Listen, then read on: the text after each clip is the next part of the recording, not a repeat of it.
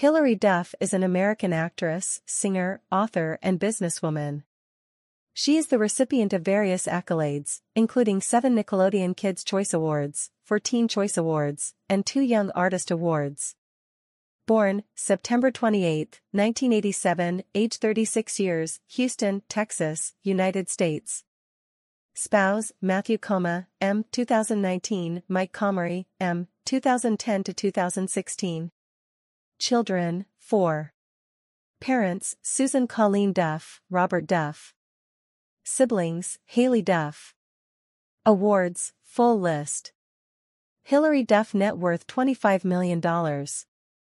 Early life. Hilary Erhardt Duff was born on September 28, 1987, in Houston, Texas.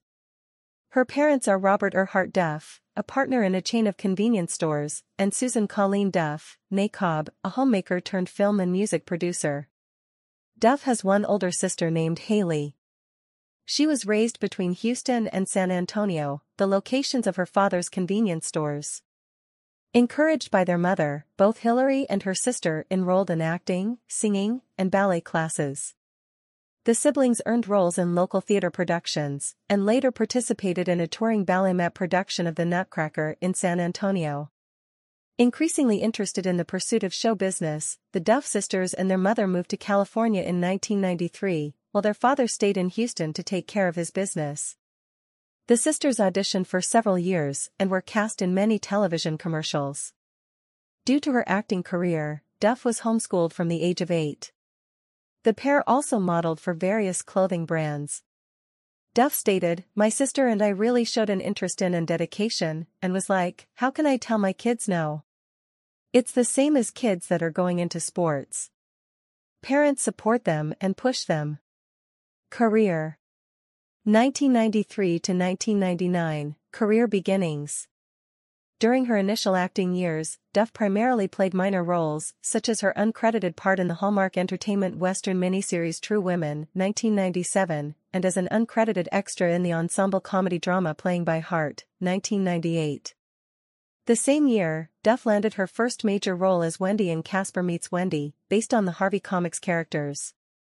After appearing in the supporting role of Ellie in the television film The Soul Collector, 1999, Duff received a Young Artist Award for Best Performance in a TV Movie or Pilot, supporting young actress.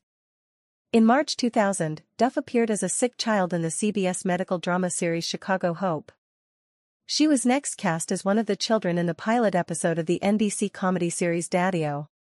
Her Daddy-O co-star Michael Chiklis stated, after working with her the first day, I remember saying to my wife, this young girl is going to be a movie star. She was completely at ease with herself and comfortable in her own skin. However, producers dropped Duff from the cast prior to the airing of the show.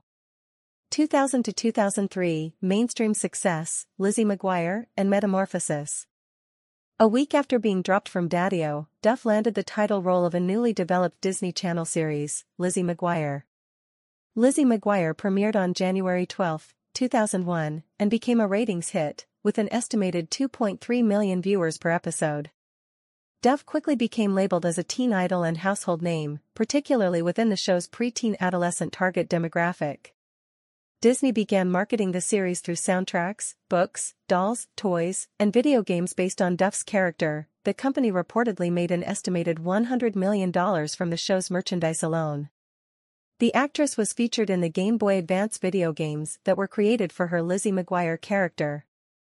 Duff made her feature film debut in Human Nature, 2002, in which she portrayed the younger version of Patricia Arquette's character. Duff also starred in the 2002 Disney Channel television film Cadet Kelly, which became the network's most watched program in its then 19-year history. Duff began making appearances on various soundtracks for the Disney Channel, recording a cover of the Brooke McClymont song I Can't Wait for the soundtrack to Lizzie McGuire. She later recorded a cover of the Tiki Tiki Tiki Room for Disney Mania. Upon expressing interest in a music career, production on Duff's debut Christmas-themed album began. Santa Claus Lane was released in October 2002, peaking in the lower portion of the Billboard 200 chart in the United States. The album was initially distributed through Walt Disney Records, with Buena Vista later re-releasing the project. It went on to receive a gold certification from the Recording Industry Association of America, RIA, for shipments exceeding 500,000 copies. The album was initially only released in North America, but received numerous re-releases in the following years. Duff later signed a recording contract with Andre Recke of Hollywood Records to release future recordings.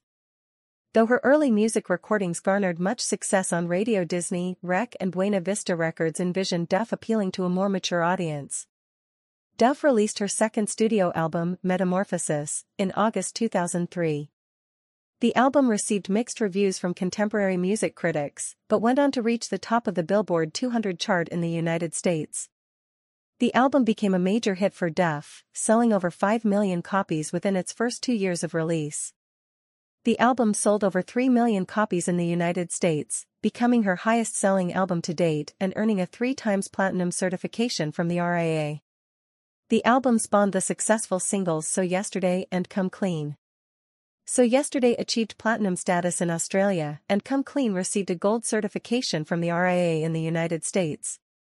Come Clean was used as the theme song to the MTV series Laguna Beach, The Real Orange County. Metamorphosis earned Duff multiple awards and nominations following its release. Duff further promoted the album with the Metamorphosis tour that ran from November to December 2003. Later that year, Duff co-starred as one of the 12 children of Steve Martin and Bonnie Hunt in the family comedy Cheaper by the Dozen, which remains her highest-grossing film to date.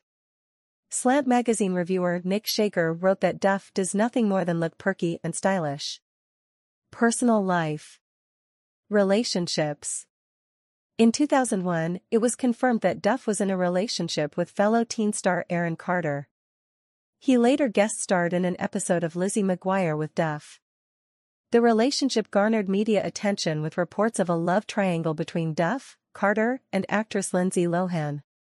Duff and Carter continued an on-again off-again relationship for three years, before ultimately ending their relationship.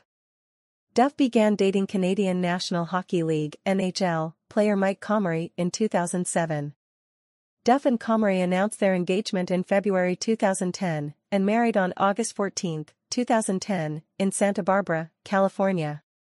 Duff announced her pregnancy in 2011 and gave birth to their son on March 20, 2012. On January 10, 2014, Duff and Comrie announced that they had amicably separated and would continue to co-parent their son. In February 2015, Duff filed for divorce from Comrie, citing irreconcilable differences and requesting primary physical and legal joint child custody of their son. The divorce was finalized in February 2016. Following her split from Comrie, Duff dated personal sports trainer Jason Walsh from August 2015 until November 2016. She also briefly dated businessman Ely Sandvik in the summer of 2017, when she and Koma took a temporary break from their relationship. Duff began dating singer-songwriter Matthew Koma in January 2017. They worked together for her 2015 album Breathe In. Breathe Out, the title track is a track he co-wrote and produced. They announced she was pregnant with their first child together, a girl, on June 8, 2018. On October 25, 2018, Duff gave birth to their first daughter. Duff and Koma then became engaged in May 2019 and were married on December 21, 2019. On October 24, 2020, Duff announced her third pregnancy via Instagram. On March 24, 2021, the couple's second child together, also a daughter, was born. On December 12, 2023, Duff announced her fourth pregnancy. On May 3, 2024, the couple's third child together, also a daughter, was born.